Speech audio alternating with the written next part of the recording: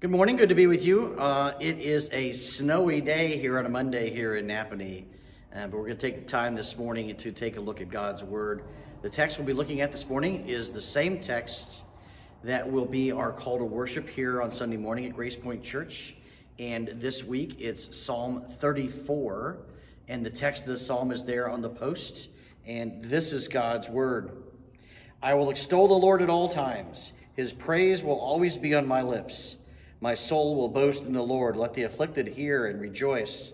Glorify the Lord with me. Let us exalt his name together. I sought the Lord, and he answered me. He delivered me from all my fears. Those who look to him are radiant. Their faces are never covered with shame. This poor man called, and the Lord heard him. He saved him out of all his troubles. The angel of the Lord encamps around those who fear him, and he delivers them. Taste and see that the Lord is good. Blessed is the man who takes refuge in him. Fear the Lord, you his saints, for those who fear him lack nothing. The lions may grow weak and hungry, but those who seek the Lord lack no good thing. Come, my children, listen to me. I will teach you the fear of the Lord.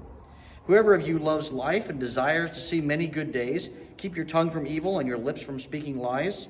Turn from evil and do good. Seek peace and pursue it. The eyes of the Lord are on the righteous, and his ears are attentive to their cry. The face of the Lord is against those who do evil, to cut off the memory of them from the earth.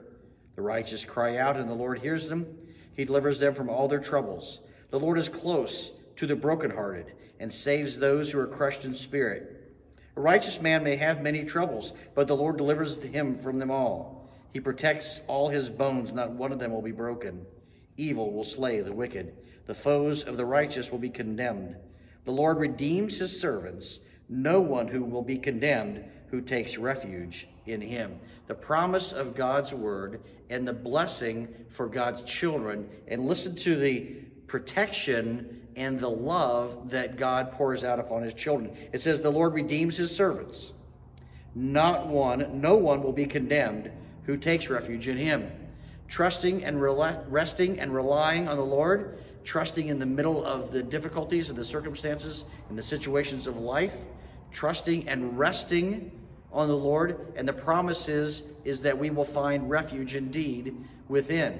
And the promise is fulfilled in Christ, who dies on the cross for our sins. We bring our uh, sins to the foot of the cross. We lay them before the Lord Jesus Christ.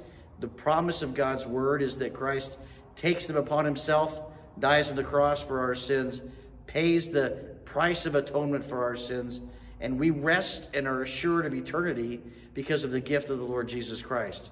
This is a gift that is poured out for all believers, for all children. When the scripture here in the Psalms says the Lord redeems his servants, that redemption is available.